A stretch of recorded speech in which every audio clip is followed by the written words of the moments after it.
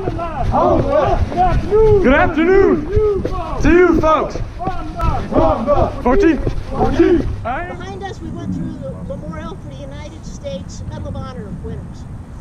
Uh, that medal is awarded for valor in an active situation against an enemy by, for our military. When they erected this monument in 1999, there were 35, 3,400 names, 3,460 some names etched in it. A little over 3,500 now that have received that honor. That honor and the men and the women, the men that have received it are so humble and they are such dedicated servants. I had the pleasure in 1999, I was a patrol officer. I had the pleasure of working in detail here at the hotel where they housed them when they brought them here to dedicate that monument on Memorial Day. I got to meet surviving members received that medal. And I want to tell you, those were the most humble individuals I have ever met. They would not talk about their service. They would not talk about their sacrifice. To find out what they earned that medal for, you had to either look it up or find a family member to tell you because they didn't want to talk about it. They were honored that we were honoring them. They couldn't believe it.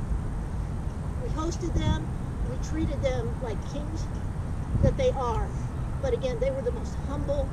They were trying to help everybody else, holding doors for everybody else.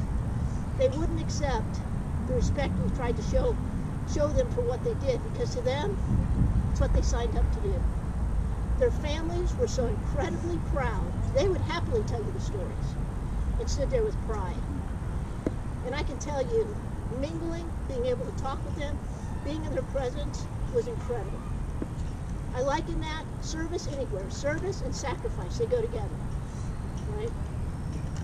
All of you have chosen a career where you're serving this community, you're serving your families, you're serving people that you want to build this community for, a nice, safe community. In that, you know there could be sacrifice. And those that have gone before you that have made a sacrifice, always, always honor them. Always remember them. And as you serve, don't ever do anything to tarnish what they signed up and sacrificed for. Does that make sense? Yes, ma'am. So I'm proud of you. I'm glad I inherited you. You'll see a lot more of me. Anything I can do to support you, always look around to see who's supporting. You Got a lot of support. We got a lot of pride in you. We need you. So continue for physical conditioning. Focus on everything you're doing. Do it to the best of your abilities. Don't give up. And you're almost through right. Yes, ma'am. Yeah, that's right. Thank you, ma'am. So, Thank you, ma'am. Left, left, left, lefty, right, left, left, left, keep it in step. Left, left, keep it in step.